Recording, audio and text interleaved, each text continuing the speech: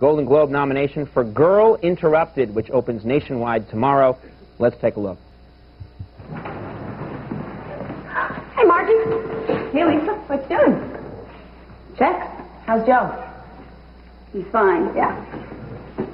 Lisa, I have to do my checks. Yeah, and what? Taking five minutes from me would be a dereliction of duty? Huh? What if I had a punctured artery? What would you do? You just keep going about your rounds, ignore my wounds? Lisa, stop it. Stop what? Hey, look at this. Go ahead. Go ahead. That's enough. Take one step and I'll jam this in my aorta. Go ahead. Go ahead. Stop it. Lisa, your aorta is in your chest. Good to know.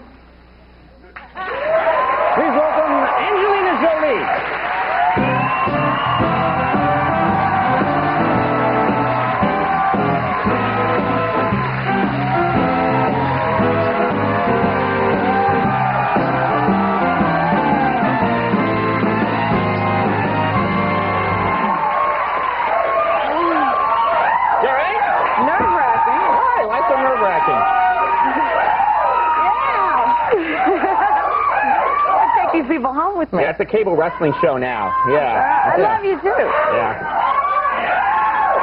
The uh, I love your. What did you? What did you do your hair? This is cool. Blue. I think It's the blue. red, the blue, you know, kind of. Yeah, You know? it goes together, Kind of huh? all over. Uh, I won't do that again. I promise. Uh, Put your money where your mouth. that's right. Yeah. No, I can't back it up. Uh, you have. I was. I was watching. Uh, well, first of all, congratulations. This is cool. The the nomination for the Golden Globe. That's a cool. Yeah, thing. yeah. Yeah. They're, they're. I'm paying them off. That's nice. Yeah, That's a nice thing. Yeah, it's really nice. I saw, you know, I saw the, I actually saw the movie last night, and your character really, really stands out. I mean, you do a great job with this character, and your, your the characters you play in these, in the movies that I've seen you do. I don't know if it's just me, but they're, they're, they're very intimidating. They're on the edge. They're, don't you think they're intimidating characters? Maybe it's just you. Are you It might just be me. Yeah, I was intimidated by Fantasia. You know. Oh, I don't know. Yeah. I can't imagine that. I think you're. I would. I, I don't think you're. You're as as decent as you seem.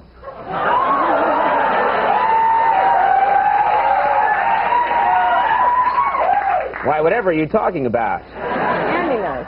Yeah, I know. Andy's seen the. He's with me. saving it for a book. Yeah. Please don't write that book. Just wait a little while. Make it worth my while.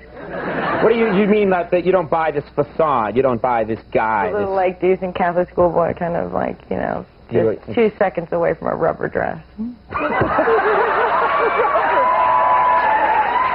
yeah. you're actually late. Rubber dress was years ago. I've There's moved a on. hayloft in the back. What is that? We're getting to that. We're getting to Hey, that. all are just Stay tuned for the hayloft. Piles of hay. No, we're we're threatening to turn the show into hee haw at any moment. Uh, no, that's probably yeah. So, do you think guys like? Do you think that's just what's boiling underneath the surface of guys like this? I hope so. Yeah, good. Because otherwise, that would be pretty sad. Yeah, I think everybody's everybody's everybody's got to be just more than they are. Everybody's. I think we're all repre- just a little repressed. We're all just held back a little. If we could all just be a little more free. I am not just a little repressed. I am. I think you need help. I'm the national spokesman for repression. Yeah. Uh, we'll work on it, though. We will. Uh, I, um, I was reading a lot of stuff about you today, and one of the articles, they always say where it takes place. One of the articles said, we caught up with Angelina Jolie at a cigar bar. And I was curious, is that, do you hang out in cigar bars? I know it's okay, a new trend. it's so hard not to make a joke right now, isn't it? Why? I can't. Help me. I can't smoke cigars without playing with them. Mm-hmm.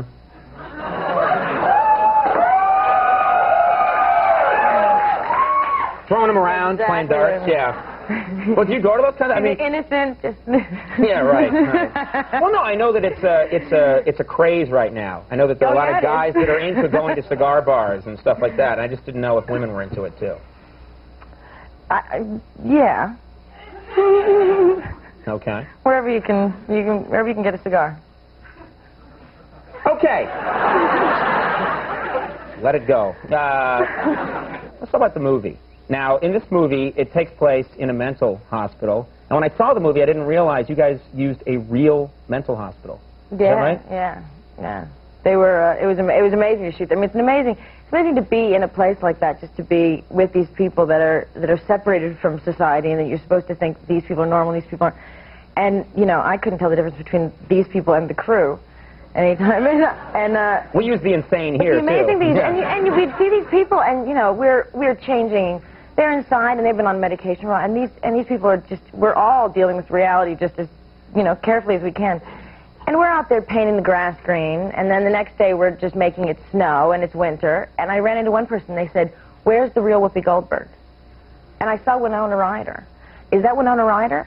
Is it snowing? Is it? I mean, we they were so because it's like it looks so strange to see like Whoopi Goldberg walking Right. by and Right. have, you know, and I it was just it was such a weird because we were changing the seasons and doing we were just we were completely insane and they by the end of it I'm sure thought they were fine. Right. In comparison. Well, I think it would be, yeah, it's kind of unfair to the people in a mental institution to make it snow, fake snow. And do all that. But it's not snowing, it's just fake snow. Just for them to be near a film set is very, very strange. But it, but it was an amazing, an amazing place to be. Just to be confined with people that, for that long, Mhm. you you just get to know each other on this amazing. It, just with the other girls who are amazing. All these Yeah, girls, it's a good Gillian, cast. Clea, everybody. And Whoopi, the one thing I had, I know it's just a quick visual, but Whoopi's hair. It, I know this takes place. The movie takes place in uh, 1968.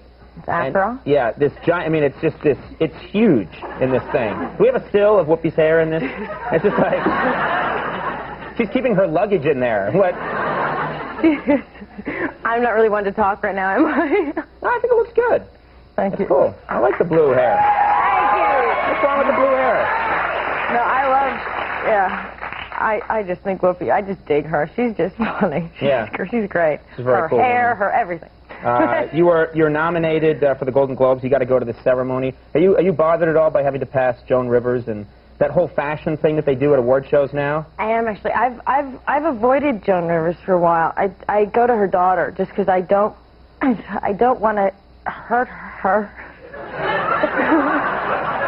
I think she'll avoid you now too. I you know I, I think I think she's. I think she's actually I'm sure she's a you know it's it's it's it's comedy and it's humor but it's Right. it's just it's you know it's because of because of criticizing things that people actually are careful about what they wear and Right. and it just it creates repression. Right, which is where I come in with my suit and tie. Yeah, Uh, so- but you don't look like you're bothered by that, Kenny. You just wear what you want to wear. You don't you don't seem like someone who'd be bothered by that, by no, but I wear the same thing every day. I, you know, What? What do you like to leather. Just that's about it. Okay.